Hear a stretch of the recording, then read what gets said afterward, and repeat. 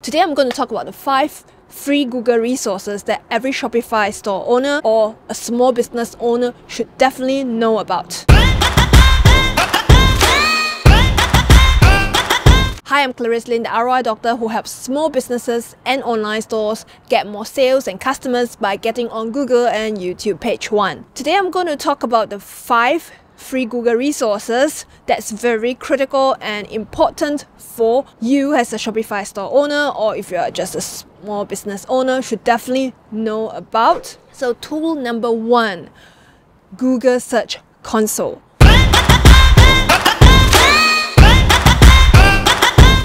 Google Search Console is formerly known as the Google Webmasters Tools and this is the tool that's going to help you optimize your store's presence or your website's presence on Google. By installing this tool, it's going to help you know how are users, Google users searching on Google, what keywords are they typing into the search engine and how they click on the search results to eventually arrive on your store. So this is very important. By having that tool, it's your communication tool with Google because you can't call up Google and ask them why is your store not found on Google. So by installing this tool, it allows you to inform Google that you have a store, these are the products that you have, these are the pages that you have, and they should have it on their system so they should be able to show it on search results if it's what the Google users are searching for. This tool is very easy to set up. You just need to sign up, up set up an account with your Google tool or Google email address and then after that you can verify that you own the store domain you key it in you verify that you're a store owner and then you'll be able to get all this data directly from Google onto Search Console. So there'll be reports for you to look at. For more specific details on how to set it up, I have another video right here that you can check it out. So go and check it out how to get your Shopify store on Google Search. So check out that video for step-by-steps on that. I'm not going to go into that in this video. Tool number two, Google Analytics. That's my favorite to absolute favorite. If you have an online presence, like an online website, or you have a Shopify store, WooCommerce store, whatever, then you definitely want to install this free tool. There are many other analytics tools as well, but basically what this tool has helping you is to help you to understand how are visitors finding out about your store, how do they arrive about your store. If you are running a campaign or promotion with influencers from Instagram? Is it helping to drive traffic or website visitors to your store? Or if these visitors are coming to your store, which pages are they visiting? Which products are they looking at specifically? Which is the top product that they view? And if they are checking out, if did they drop out during the checkout process? So it allows you to see, get so much insights into it. You can understand your users' behavior and if you are targeting if you are targeting a specific uh, location for running an ads let's say you're running an ad campaign could be a facebook ad campaign google ad campaign targeting um, customers potentially from the united states or from london you'll be able to see if it's effective if these people are coming onto your store through the money that you have spent on these marketing campaigns. And you can see whether your money is worthwhile because you'll be able to see what pages or what products are all these visitors looking at. So it helps you to know whether all your marketing budget that you have put into advertising campaign if it's working properly or if it's what you have planned. So this is very important. So this tool is the number one tool for that, I highly recommend anybody else to install this tool. So what you basically need is you, as usual, you need to go to Google Analytics account setup and then you can okay I'm going to show a screenshot right here. This is the page you look at. And then you sign up for an account using a Gmail address of course. And then you need to generate a little uh, JavaScript code piece of little code that you can put on your website. You can also use Google Tag Manager if you like to use that as a um, portal like a central communicator where you can put the code there and then you will inject it to your website. So that's going to start helping you to track you know how are visitors coming to your website what are the pages that they look at. Basically it tells you how shoppers or browsers are behaving on your store. So you will have a clear idea of what to do next where to improve and which are the areas that you should spend more time and effort on so you close more sales. So do definitely install this tool if you haven't. Tool number three, Google My Business tool.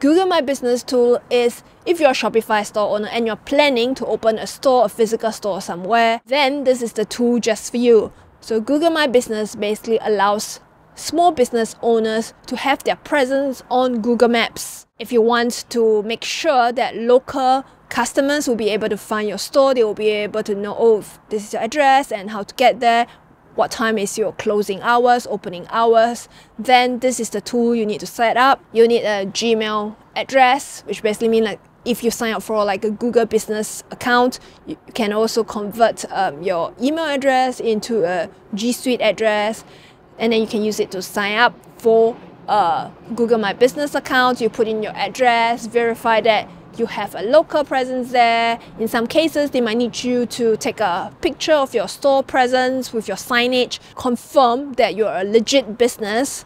Then once that's confirmed, then you can be found on Google Maps. And then if you have uh, local reviews, your local customers putting reviews there, that's going to help to boost your store's presence. So if someone is searching for a specific type of products near me, then that's going to surface your store if you have your account set up on Google My Business. So if you're planning to have a physical presence, then go and check out Google My Business. This is where it is. I'm going to put a screenshot right here on how it looks like.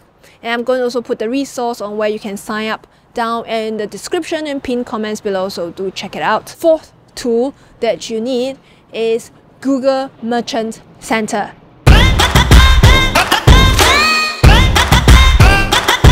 If you have a Google Merchant Center account, then that's going to help your products get on Google Shopping. Google Shopping is a free feature or free service provided by Google, so shoppers can browse online. Google is planning to compete with Amazon in the e-commerce market, so they are providing this uh, service now for free. So before that, if you want to get on Google Shopping, you need to run uh, Google Shopping ads. But now you don't have to. You can easily get your products listed there if you have a Google Merchant Center account set up.